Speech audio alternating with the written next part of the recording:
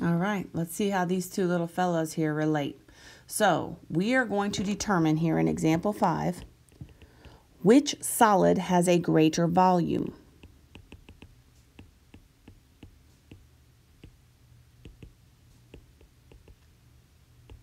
All right, so here is the region we're looking for.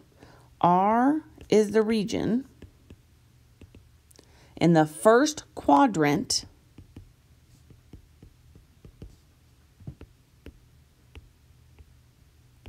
bounded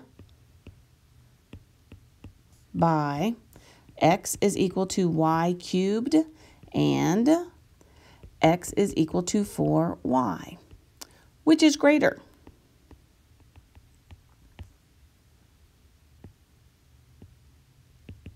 The volume around the x or the y axis?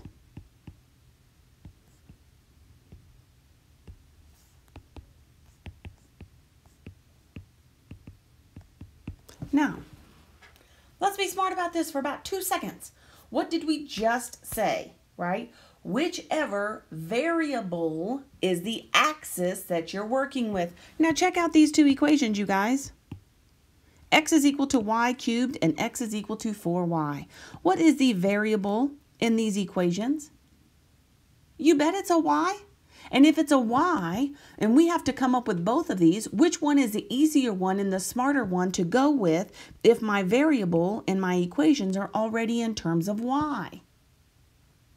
Ah, nailed it. I'm going about that y-axis. That's the first one we're going to look at. We got to do both of them anyway. Let's look at that y-axis first and see how this plays out. All right. So Let's again, these are super easy. So let's go with it. I know that this is in the first quadrant. And frankly, you guys should be able to do these, right? So I know that I have x is equal to y cubed that we're looking at. So if I have 1 to 1, I have that point, x is equal to y cubed. And then if I'm putting this out there, right? x is equal to y cubed. So if I make y a 2, what is 2 cubed? 8, exactly. 5, 6, 7, 8. So here's 8, so I have the point 2, 8. So here is my graph. Nope. Try again. Oh, for crying out loud. Let me get my hand down here farther. Right? And then that's going to gradually keep moving in that direction. Now, if I have y, x is equal to 4y, that's just a line, right? So, but my slope here is I'm coming over that I'm looking at in terms of the y-axis. So, I'm at the point 0, 0. We know that for a fact. When y is equal to 1, x is 4. When y is equal, pardon me, when y is equal to 2, x is 8. Check that out. So on top here, I have y, y cubed is equal to x, or x is equal to y cubed. On the bottom here, I have x is equal to 4y. And then my region is what's in the middle. I should have my highlighter smaller. It wouldn't be quite so bad. All right. And the first thing that we're looking at is we're going around this y-axis. Because I'm already in terms of y. So that means my volume over here, whenever I'm looking at this, let me go black. I meant to go black. My volume is going to go from C to D, and I have two of these, so pi is f of y squared minus g of y squared dy, because everything's in terms of y. Y, y, y, y, y, right? Okay, so this, if I'm looking at my values in terms of y, What are my C and my D? Yes, because it hits down here at 0 and it hits up here at 2. So my C to my D is going to go from 0 to 2. Do you see that? Because we're looking at our graph and coming up with that info. My problem didn't tell me that. But when we graphed those, my graph goes from 0 to 2. All terms are in y. If I'm about the y-axis, when we're talking about the disc and washer method, then we're going in terms of y. Spoiler alert, when we talk about the shell method, we'll have a different conversation. But right now, with the disc and washer method, if it's in terms of y, everything is in y, about that y axis. Okay, you know I'm going to chuck that pi in front because I want to mess with it. I'm going to go from 0 to 2. Now, farthest away from my y-axis, farthest away from my y-axis is this function, 4y. Farthest away from my y-axis, everything's in terms of y. So I now have 4y squared. Closest here, my innermost function is going to be this y cubed. right? Okay, now work your magic. Setting it up is the key. Once you have it set up, then it's just integrating, and that's super easy. We all know how to do that, right? But getting that set up, noticing which axis, which variable, that's the key here. Okay. So now we just integrate. I'm going to take pi, I'm going to go from 0 to 2, and I've got 16y squared. Power to a power, you multiply. So you've got y to the 6th. Dy, if you don't put that differential on, I'm taking points off. Y'all know this by now. I have pi, and then if I integrate, I add 1, I have 16 thirds. If I add 1, I have 1 seventh, and I'm taking that from 0 to 2. Now we all know zero is our best day ever, right? You plug a zero in there and we don't have it. I'm going to keep scooting this over. I've got pi here. However, I do have a 2. So I've got 16 thirds, 2 cubed, minus 1 seventh, 2 to the 7th, minus, and I'm just going to put 0 minus 0 because we know that's going to be the case. Okay, let's see what we've got, people. Oh, this isn't so bad. Oh, we're using our noggins here, y'all. We're using our noggins. Look at what's going on here. Let's be smart. So, I've got pi, and I know that 16 here, right? Let's, let's take this concept. 16 here, I already know to be 2 to the 4th. So what do you actually have here? You've got, do you see that? 2 to the 7th over 3 minus 2 to the 7th over 7. Cool, right? Now I just have to multiply that by 7. So here I have pi is equal to, or pi times, sorry, 7 times 2 to the 7th over 21 minus 3 times 2 to the 7th over 7. Like terms. If you have like terms, I now have 7 2 to the 7ths minus 3 2 to the 7ths. And how many 2 to the 7ths are you going to have? Oopsie daisy. You were probably hollering at me. And if you were, I'm super proud of you. Where did it, why is it 7? Why is it not 21? it should be 21. You're awesome. I made a mistake. You're awesome. Keep it up. So now I have 4 times, what is 2 to the 7th? 2 to the 7th is going to be, if I look up here, I know it's going to be 16 times 8. What's that 16 times 8? 128. All right and then 4 times 128. So my volume here is going to be 4 times 8 is 2. Carry the 3. Um, 8, 9, 10, 11. 512, is that what you got? That's what you should get. 512 pi over 21. All right. So instead of, so be smart about this, you guys. It's always good to have number sense. So be smart about this. If you recognize this pattern and you recognize this pattern, even if you had multiplied these out and you saw it was 128, then you would have had 128, 128. Oh, okay. No problem. I'll have seven 128s minus three 128s, and that'll give me four 128s. It's just like terms. Cool, right? All right. Now, that is about the y-axis.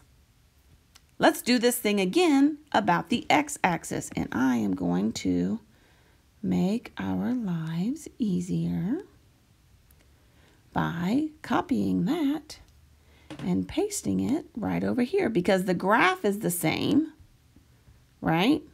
We're just going to take this same graph and we're going to, oops, I didn't mean to do that. I meant to scoot it. We're going to take this exact same graph, I'm just going to leave it here, and revolve it around the x-axis is where we're going with this now. Right? Now, here's the deal. When I revolve this around the x-axis, so I'm going to take this off,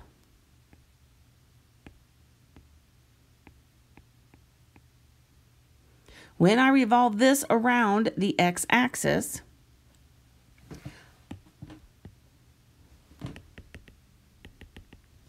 I want everything to be in terms of x.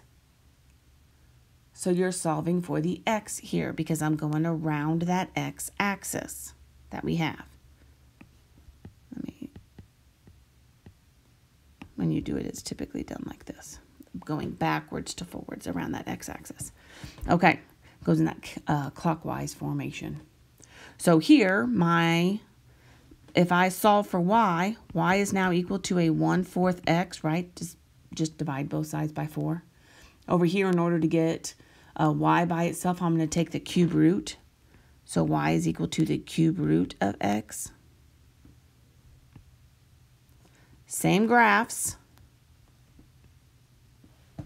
exact same graph. I'm not changing my graph at all.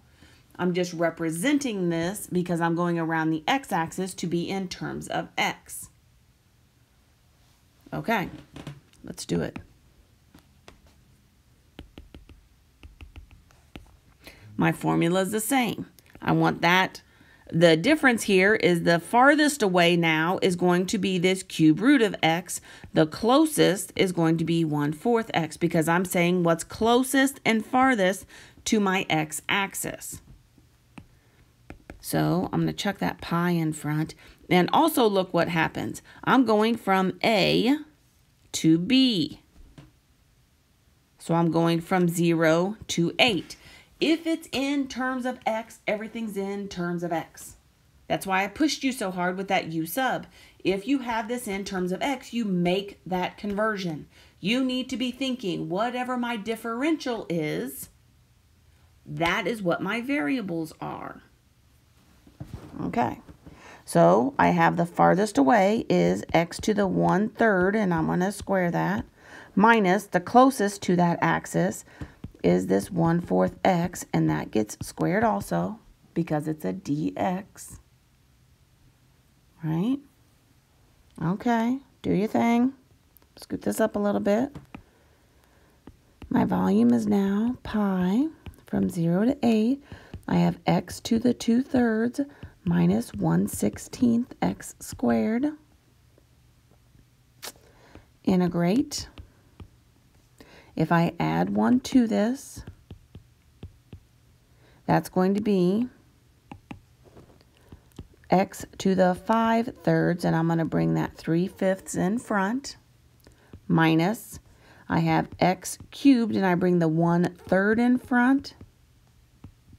That's going to be that 1 over 48, and I'm evaluating that from 0 to 8. Okay. Okay. So, scoot this up a little bit. My volume here is pi, And fundamental theorem of calculus tells me I have 3 fifths times 8 to the 5 thirds minus 1 over 48 times 8 cubed. And I'm just going to put minus 0 because we know 0 minus 0, right? When I plug a 0 into both of these, then that's going to be a minus 0. Okay, check me out. I'm going to take the cube root of 8. That's 2, y'all, right? So 2 to the 5th we know to be 32 minus, oh, we can break this down. We can break this down. Here, if I have, how do we want to break this down? I'm going to keep one of those eights out because one of those eights can go in there.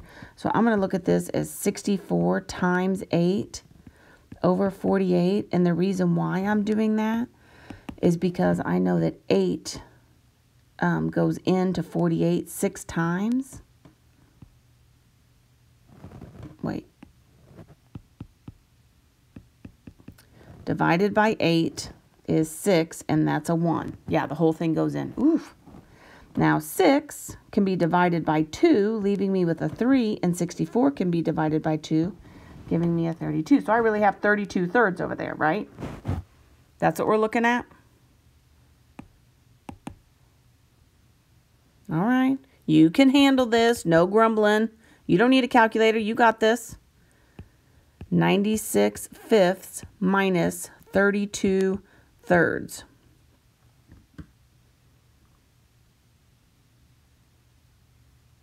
Okay. Now we can do the same thing we did before because look how sweet that is. Here, my volume is equal to pi. Man, this is working out so nice for us. Look at that 32 goes right in there. 3 times 32. What? Ah, and I've got 32s again. So we can get a common denominator, no problem. So I've got pi and I've got 3 here times 32. So if I multiply this by 3 times a 3 over 3 times this by a 5 over 5, right? Common denominator style. And I've got 9 32s minus 5 32s. Look at that. Look at that. So I'm left with 4 32s over 15. And then we just work that out. What is 4 times 32? 128, right? 128 fifteenths. So my volume here is 128, oops, pi over 15.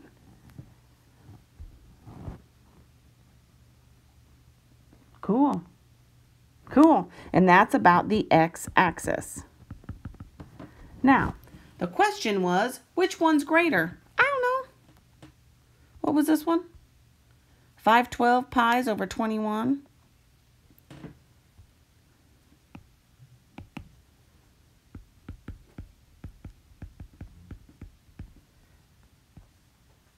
This is the y-axis. Okay, now I'm to cheat just a little bit. We can find a common denominator. We can work this all out. But I'm to cheat just a little bit. And I'm to let you know that this is 8.64 pies. This one is approximately 24.38 pies. So which one's bigger? The y-axis, right? So for this one, when it asks the question, which one has the greater volume, then the y-axis has the greater volume.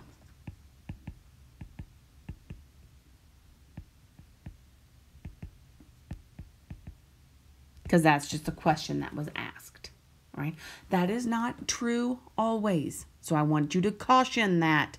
That does not mean every single time the y, if we revolve around the y-axis, it's always going to have the greater. It is always, always, always dependent upon what your functions are. Whatever your functions are, that's going to dictate which one has the greater volume. All right? Okay, now I do want to show you this because I think this is helpful. This, oops, I should have written this on here. This is the y-axis, and this is the x-axis. All right, so look at what these pictures are. If I am having this one, this looks more, if I'm looking at this, it's kind of, look how my bowl is kind of dished into the inside. Where here, it's kind of this straight that I have inside my bowl. Do you see that? And so then what's actually happening is this area that I have. It's coming down here to this point, and then that is the bowl, I'm air quoting that you can't see, that I'm looking at. Here, my bowl comes around, but I'm kind of going into my bowl as I'm, I'm working this around. Do you see that? Kind of working in. So my volume is going to be all of this as it gets wrapped around that y-axis. So you can kind of see a little bit how that would look. Where here, see how this is flat, and then I'm revolving this around. Where here, I'm kind of going into my bowl, so it's it's somewhat filled in as I take this bowl around. You can use your imagination to see that. All right? Moral of this story, pay attention to the variable, right? Pay attention to that variable. You're going around the x-axis or the y-axis, and then put that variable in terms of whichever axis. All right, guys, go rock the socks off of this homework. You can